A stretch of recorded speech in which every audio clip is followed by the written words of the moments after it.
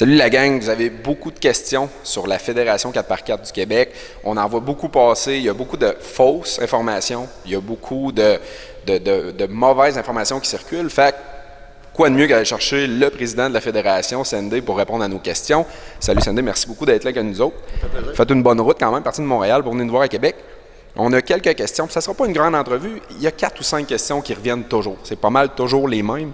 Euh, on va y aller avec une des, principales questions qui revient beaucoup. Euh, où sont situés, où sont les sentiers fédérés, les secteurs que vous êtes fédérés accessibles au monde? Est-ce qu'il y en a un peu partout au Québec? Où vous êtes situé au niveau de l'accessibilité des sentiers? Oui, bien c'est ça. On a plusieurs sentiers dans le, dans le Québec, à travers le Québec. Euh, on, a des, on commence à Gatineau, on s'en va jusqu'à Québec présentement.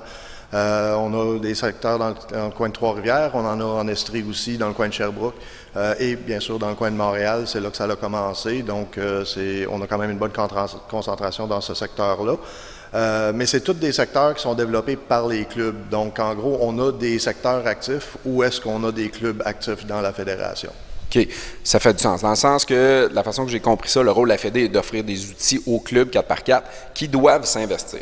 Donc, quand je vois du monde sur les réseaux dire Ah, moi, il n'y a pas de trail chez nous, bien, la personne a à faire du sien un peu pour aider le développement. Ça veut dire que s'il joint un club 4x4, exemple, qui est officiel, qui est enregistré comme un club, euh, c'est à eux un peu d'aller développer le sport puis de s'investir là-dedans. C'est bien ça? Oui, tout à fait. La mission de la Fédération, c'est vraiment d'aider les clubs à pratiquer leurs activités d'une façon légale et éco-responsable. Donc, vraiment, c'est à nous de les aider. On est le coffre d'outils, euh, le coffre à outils c'est eux les mains, par exemple. Euh, donc, euh, on met en place, euh, premièrement, des assurances responsabilité civile pour couvrir les clubs et les organisateurs d'activités pour qu'ils puissent faire ces choses-là sans se mettre personnellement à risque. C'est très important.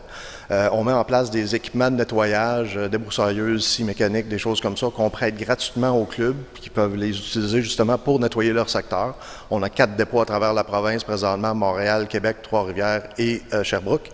Euh, et puis, on a aussi euh, des, services de vérification de droit de circuler, des choses comme ça. On a développé une expertise pour déterminer si le, sentier, le secteur est légal ou pas. Et à ce moment-là, on met ça à la disposition des clubs pour qu'ils savent qu'ils sont corrects quand ils vont circuler là. oui, parce que là, il faut se le dire, oui, il y a plusieurs personnes qui connaissent l'endroit où ces, chemins-là, souvent forestiers ou peu importe, sont situés, euh, mais c'est plus compliqué que ça. Premièrement, d'offrir une assurance, c'est très important.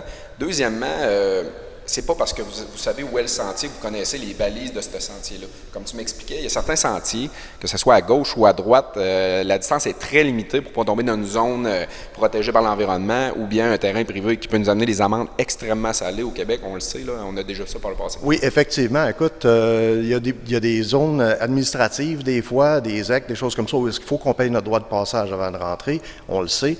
il y a aussi des endroits pour l'environnement, des zones protégées ne sont pas indiqués, ne sont pas balisés. Donc, ça prend absolument une vérification avant d'y aller. c'est ça que la Fédération offre. Les, euh, les tracés qu'on offre à nos membres sont vraiment tous validés, vérifiés au préalable. Comme ça, si on reste sur les sentiers, on est correct. Si on sort des sentiers, ben là, on peut se ramasser, comme tu dis, dans un terrain privé, une zone environnementale fragile, des choses comme ça, puis c'est très vite euh, arrivé, puis on ne le voit pas sur le terrain. Puis là, justement, parlant de sentier, euh, explique-moi un peu quel type de sentier que vous avez, les cotes un peu, euh, comment comment c'est défini un peu ces sentiers-là? Donc, on a plusieurs euh, cotes de niveau. On part du chemin public carrossable jusqu'à du chemin extrême pour les buggy. on a des chemins qui sont du niveau 1 à 3, c'est pour des débutants. L'intermédiaire, des véhicules un petit peu plus modifiés, mais quand même qui sont praticables sur la route et de l'extrême aussi. Euh, c'est sûr que dans le développement des secteurs, c'est toujours plus facile d'aller chercher les chemins euh, qui sont déjà ouverts. Donc ça, on en a quand même euh, les chemins intermédiaires, un petit peu plus restreints. Extrêmes, c'est un petit peu plus, mais c'est à cause ça prend beaucoup de jus de bras pour ouvrir ces secteurs-là. OK. Puis une question, euh, c'est pas une question que j'adore poser, mais qui revient énormément l'argent. Bon, le 30 je crois c'est environ 30 maintenant pour, euh, pour être membre. Moi, personnellement, 30 pour avoir une assurance puis rouler légalement en sentier, je trouve que c'est absolument rien. Euh, si on va juste se rouler, par exemple, dans un endroit privé, ça peut coûter facilement 60 une journée euh, sans problème. Là, on l'a pour la passe pour la saison. Ma question, puis la question qui revient beaucoup, le 30 là, euh, faut, enlever la, pensée des gens, je crois, de dire que c'est pas un 30 pour rouler. C'est pas ça qui vous donne le droit de rouler, mais le 30 il sert à quoi, Sandy? Tu peux nous parler un petit peu de ce côté-là? Oui. Écoute, la plus grosse dépense de la fédération présentement, c'est les assurances. On parle d'un quasiment un 6 000 par année pour couvrir les clubs. Donc, c'est quand même une dépense importante. Puis, si chaque club irait chercher leurs propres assurances, ça tournerait à peu près autour de ça. Donc, quand même, c'est une bonne économie pour tout le monde. Euh, L'autre élément qu'on fait, c'est qu'on achète les équipements, bien sûr. Il faut les entretenir, il faut mettre du gaz dedans, des choses comme ça. Et même quand les gens utilisent leurs propres équipements, s'ils nous envoient un rapport de nettoyage, des choses comme ça, on peut couvrir certains frais pour eux aussi, en autant qu'on s'est entendu au préalable. Donc, euh, en, plus de ça, on a aussi euh, tout le, côté euh, informatique. On a nos serveurs, des choses comme ça qu'il faut qu'on paye. On a les fournitures pour imprimer les cartes, toutes ces petites choses-là. Tout ce qui est frais administratifs aujourd'hui. Frais administratifs, c'est ça. On n'a pas le choix pour être un organisme professionnel. Fait que là, tu n'es pas gêné de dire devant la caméra que tu t'es pas acheté un yacht de 50 pieds avec cet argent-là? Non. Écoute, la, fédération, c'est un organisme à 100% bénévole. Il n'y a pas personne qui est numéré là-dedans. Puis, écoute, le plus souvent qu'autrement, ça sort de nos poches quand on travaille là-dedans. Oui, bien, dans le 4 par 4 c'est souvent ça, malheureusement. Euh, donc, je pense que ça couvre pas mal les plus grosses questions qu'on avait. Euh, la gang, vous allez voir le magazine, on va s'impliquer beaucoup plus avec la fédération dans les prochains mois, prochaines années. On va vous tenir plus au courant. On va mettre des liens aussi sur le magazine euh, simple pour trouver les informations, les cartes, les secteurs accessibles. Puis si vous voulez des sentiers légaux, être assurés, fédérés, je comprends que ça ne s'applique pas à tout le monde. Vous êtes en région, vous avez accès à des sentiers légaux par chez vous. Je comprends tout à fait ça. Il n'y a aucun problème. Vous n'êtes pas jugé ici.